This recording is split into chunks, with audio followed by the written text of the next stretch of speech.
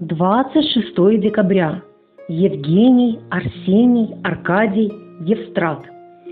С этого дня принято было в течение 12 суток за погодой следить. Считалось, что каждый новый день погоду целого месяца предсказывает.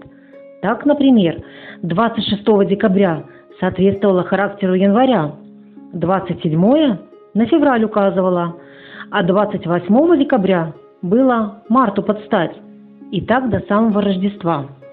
А оно, в свою очередь, выражило погоду декабря следующего года.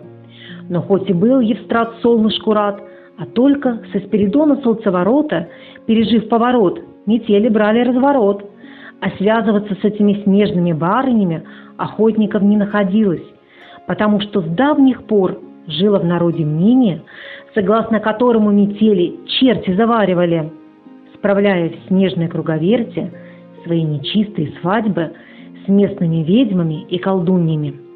Путник, случайно попавший в бесовский хоровод, мог выбраться из него благодаря молитве и особому чародейному кольцу, бросив его в отчаянную минуту под ноги со словами «Кольцо мое, кольцо, не ударь в грязь лицом».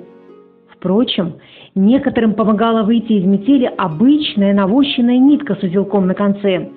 Говорят, она, упав на землю, всегда узелком к дому ложилась, где уже и не чаяли увидеть живым затерявшегося в метели путника.